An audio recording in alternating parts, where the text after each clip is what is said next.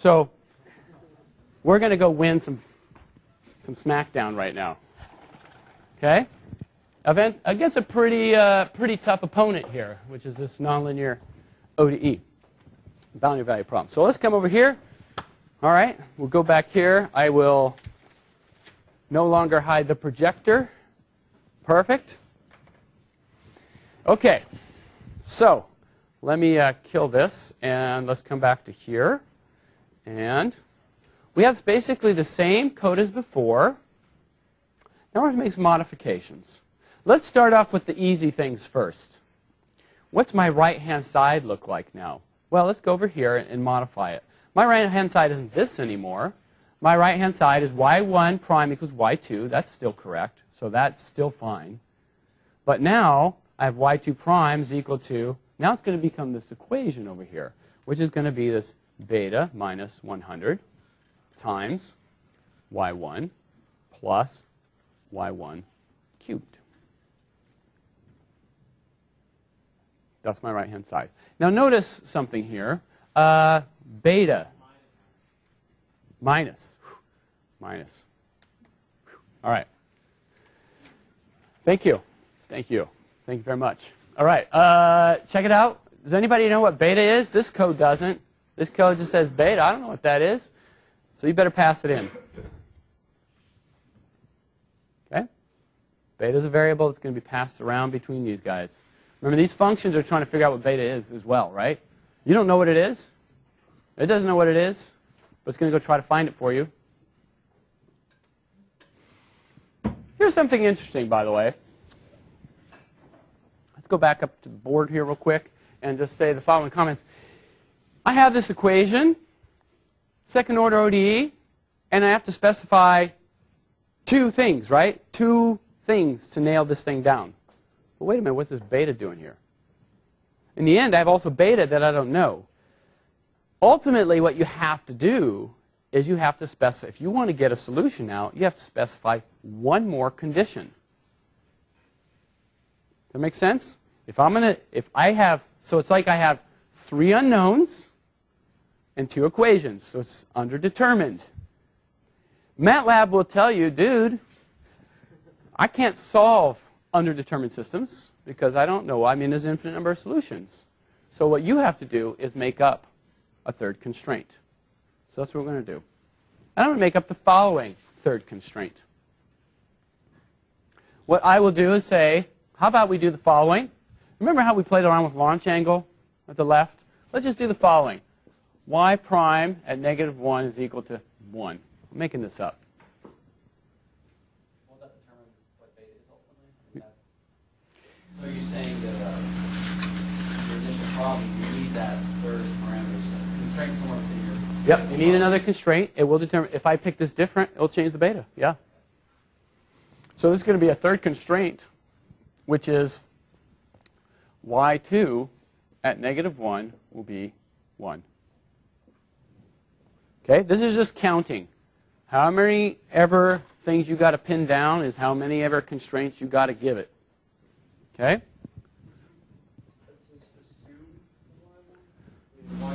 Yeah, I just made that up.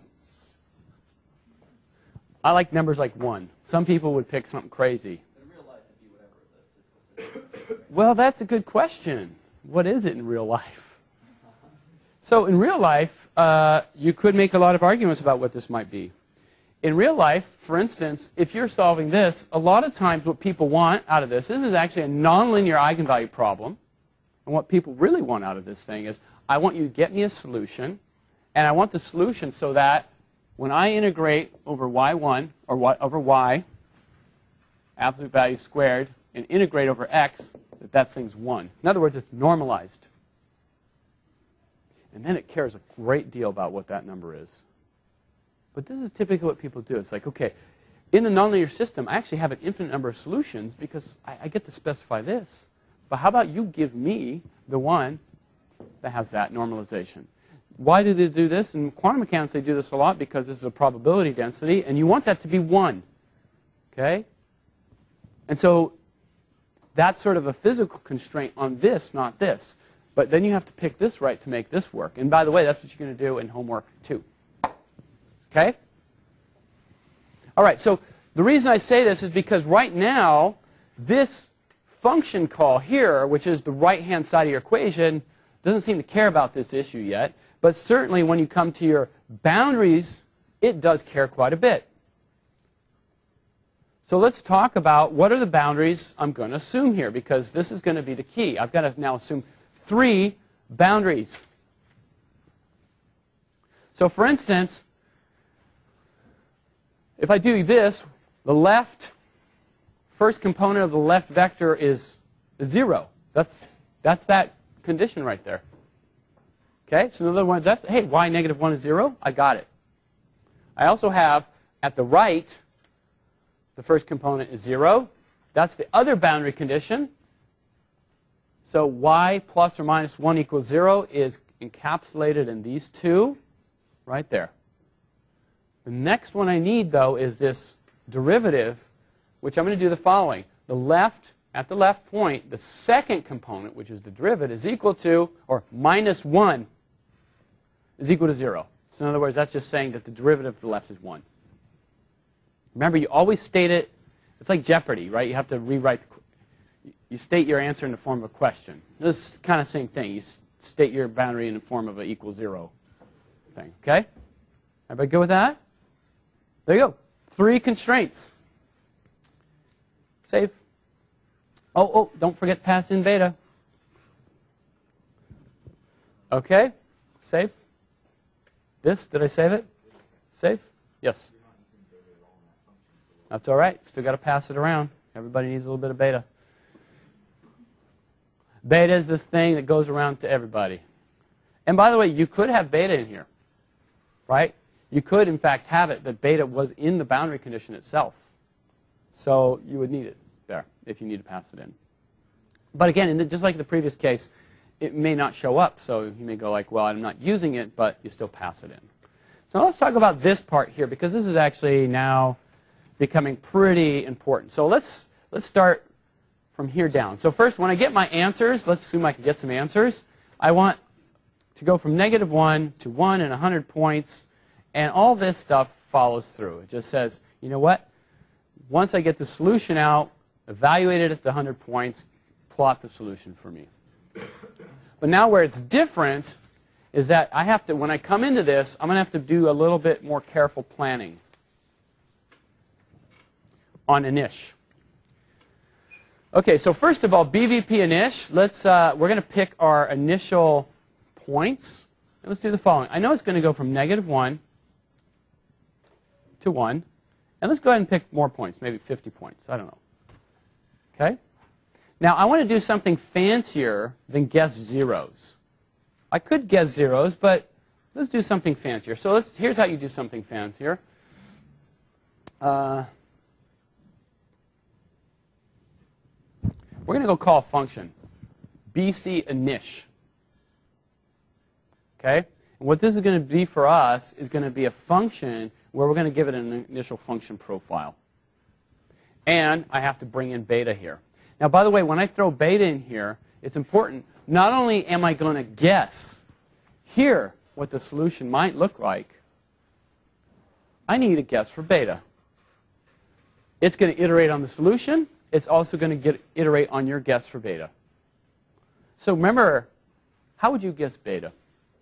Now, uh, in class, here's so so you can't quite just throw away shooting, for instance, because what shooting helped us to do is kind of, hey, let me shoot across, see what this. We kind of got just a very very basic idea of what what solutions might even look like before we just start guessing wildly. And what we knew is, you know, beta had to be less than 100. And in fact, there were some solutions up there around 97, 96, right? So let's guess something like beta is 99. Okay? Because I knew up there somewhere there were solutions to the linear problem, and maybe if the nonlinear problem isn't too far off, maybe that's a good place to start. Okay?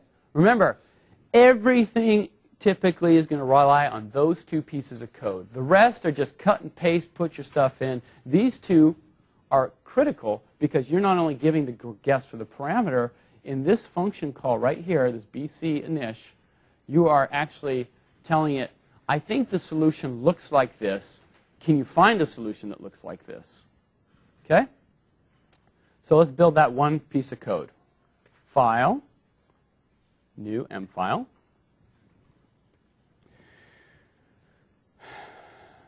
That's going to be my input. Let's call this, what did I call again? Uh, BC init, like that. Didn't I do that? Is that right? All right, let's hope I did that. All right, so now we're going to come into this initial call, uh, and we're just sending in x. And what it's going to spit out are the y values. Oh, I don't need it here. So my input is going to be the following. It's going to be a vector. Two components.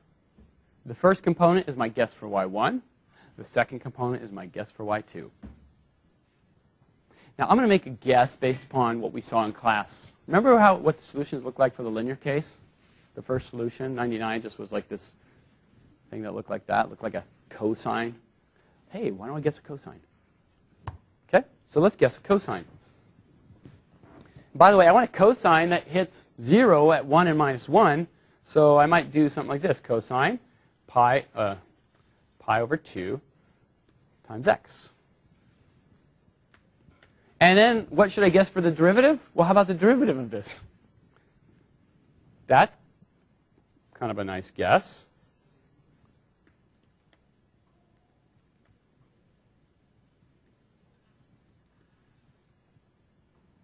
There you go. There are my guesses. So I'm going to guess something that looked like the linear case with beta's 99, and I'm hoping that this might work. Okay? All right, so let's go ahead and save this.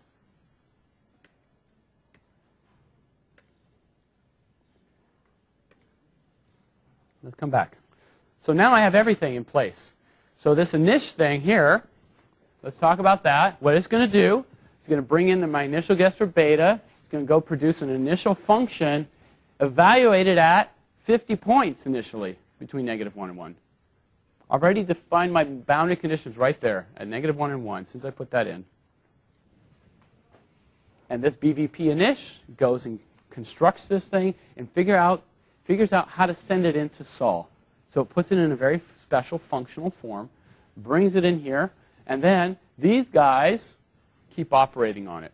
This operates on the equation. This operates on the boundary. It knows that beta is this parameter, and it tries to both change beta and iterate towards a solution with changing beta. Get you, you try to get you a solution that's 10 to minus 6 accurate. And after you get it, you say, now I want to plot it. So you make a new vector, negative 1, 1, 100 points. You use the deval to extract out how this thing is encoded in terms of information. Plot it. Okay? What's that? Yeah, yeah. You can put in you can put in multiple parameters, a chain of them. It'll just take your code longer, but that's okay. You just have to give them guesses, and for every one you put in, extra constraint. Okay? Yes. What's that? Is beta contain result? Let's check it. I, I, let me let's get the solution out and let's try to see if tell us what beta is. I know you can get it.